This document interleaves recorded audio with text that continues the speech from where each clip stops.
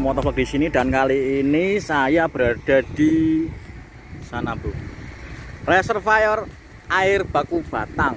Oke ini adalah kawasan industri Batang dan ada waduk di sana. Di sana itu waduk Batang dan bagus sekali coy. Sekarang di sini saya mau membahas tentang itu. Karena 2023 sudah datang lagi PCX ABS dengan warna hitam glossy coy. Kasihan nggak tuh yang 2022 bagaimana nasibnya? Padahal ada sekelumit atau ada beberapa hal yang harus kamu perhatikan sebelum kamu beli PCX coy. Saya sendiri sudah pakai PCX ini dari ini STNK bulan 3 berarti udah berapa bulan ya? Hmm, sekarang Desember berarti 9 bulan. Dan ada beberapa hal minus yang harus kamu tahu. Kalau kamu beli sebuah PCX apalagi yang sekarang itu yang 2023 warnanya bagus. Tapi sebelum kamu beli alangkah baiknya kamu tahu hal-hal ini dulu coy Oke, let's go. Kita mulai videonya. Nah, yang pertama adalah kamu harus tahu bahwa PCX itu di sebelah sini ini adalah plastik coy. Ini plastik pembungkus dan ini nggak bisa di apa ya nggak bisa ditanggulangi lah pokoknya. Dia pasti bahasa awamnya ngeter dia kalau kamu lari berapa puluh kilometer itu pasti di sini keter.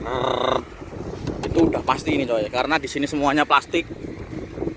Plastik all the plastik. Ini ada bagel besinya. Tapi ini atasnya itu ini adalah plastik coy. Plastik dan itu nggak bisa meredam getaran dia. Ini poin satu adalah bagel cover ini pasti getar berisik pokoknya. Terus yang kedua yang udah saya alami dari 4000 km saya pakai dia ini adalah di sini coy. Ini waktu dulu itu sebelum saya servis ban ini sangat berat coy. Nggak bisa diputar kayak gini nggak bisa. Ini setelah saya baca di beberapa artikel memang penyakit PCX itu kadang-kadang emang banyak ini seret dia ban seret nggak bisa diputar-putar. Tapi setelah diservis dibenahi sama mekaniknya dia oke sudah normal lah ini. Ini aku rasa sudah normal lah.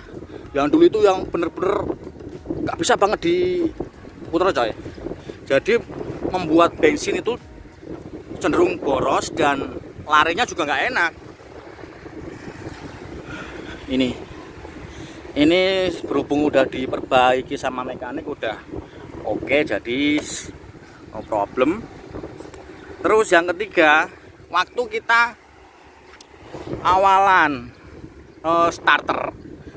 Waktu kita awal starter motor itu angkatan pertama PCX itu cenderung rodanya itu kayak bergetar ya gitu ya. Jadi tidak kayak tak tak tak tak tak gitu. Ayo. Terus. Wes wes. Direm direm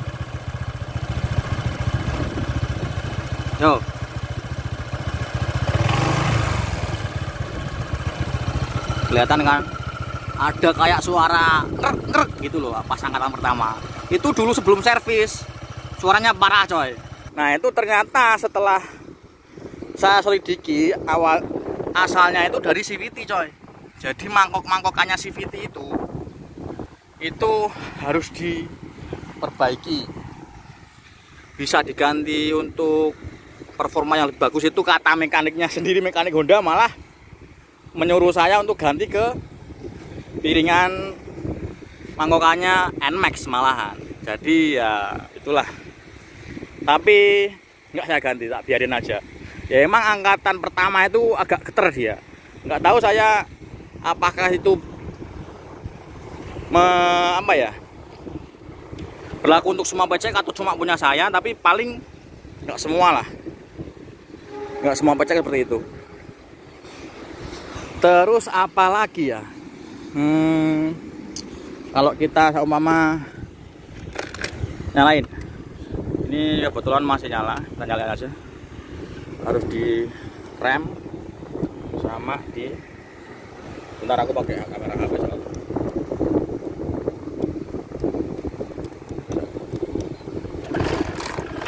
nah itu. Nah kita bisa lihat kalau langkah awalnya itu emang agak bergetar sedikit. Nggak tahu kenapa ini. Ya seperti itu. Terus sininya juga getar. Terus di sini juga udah pecah coy.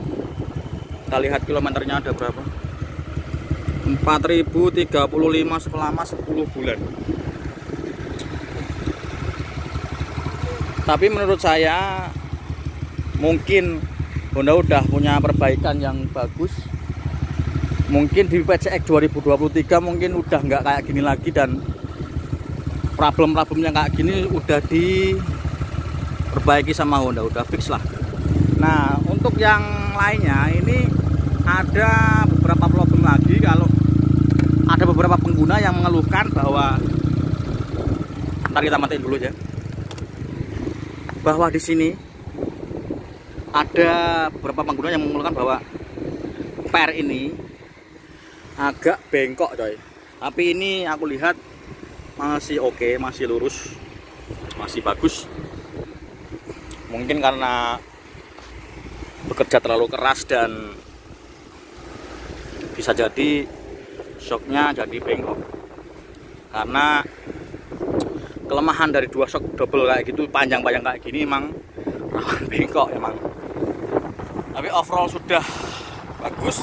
Hanya ada beberapa masalah sedikit itu yang mungkin bisa diperbaiki dengan kelahiran PCX yang 2023 nanti. Oh ya ada satu lagi coy. PCX ini oh lihat sana. Bagus sekali pemandangannya di sini. Anginnya spoi-spoi. Ada satu lagi yang lupa saya katakan bahwa pas kita melaju di jalan lurus atau trek lurus yang banyak angin eh nggak banyak angin deh trek lurus dan kemungkinan besar si PCX ini apa ya? Kalau menurut saya aerodinamikanya itu kurang coy. Jadi motor itu seakan-akan banting sana banting sini. Nggak karuan gitu loh. Apa semua orang juga merasakannya waktu pakai PCX atau saya cuma saya itu? Mungkin ya ada sisi perspektif pribadi lah. Tapi yang saya rasakan waktu dia melaju lebih dari 100 km per jam ini motor goyangnya minta ampun coy. Jadi untuk kalian memang kalau beli PCX jangan untuk kebut-kebutan lah. Saya di rumah punya CBR 150 itu setiap hari juga lewat jalan yang sama. Dan itu anteng-anteng aja nggak nggak pakai goyang-goyang. Kalau ini wah goyang bukan main coy goyangnya udah kayak goyang dompet lah. Terus detail-detail dari motor ini yang PCX yang 2022 hitam doff saya udah kasih beberapa detail. Tambahan lah di sini kayak ini lampu film ini udah kasih udah aku kasih agak-agak biru. Jadi dia waktu lampu mati nggak putih lagi tapi tampilannya agak biru kayak gini. Bagus cantik. Ini cuma modal 60.000 terus di sini stiker cutting Armotovlog terus beberapa detail lagi yaitu di sini. Aku kasih lampu belakang smoke. Ini juga nggak standar udah. Smoke gitu. Lihat. Tapi overall aku suka motor ini sih di luar beberapa kendala itu. Tapi bentuknya PCX ini emang mantap. Dan yang paling penting 2023 PCX CBS harga on the road 32 juta. Dia pakai hitam glossy coy enggak? Nah gini ini hitam matte itu aku kurang suka lah. Tapi kalau yang hitam glossy yang sama dengan PCX ABS itu good. Good choice mantap pokoknya eh bagi kalian yang mau beli PCX 2023 hitam glossy. Dan sudah menonton video ini silahkan langsung saja beli coy. Di dealer yang sudah tersedia. Oke segitu dulu. Mungkin itu aja ya. Uh, video review WCX 2023 yang akan kamu beli nanti. Semoga kamu bisa tahu agar gak kaget nanti setelah kamu pakai WCX oke Armotovlog mau keliling-keliling dulu dan ini bagus view nya juga lumayan mantap Oke, tetap safety dalam berkendara. Armotovlog out dan terima kasih sudah menonton video ini kawan. Thank you coy.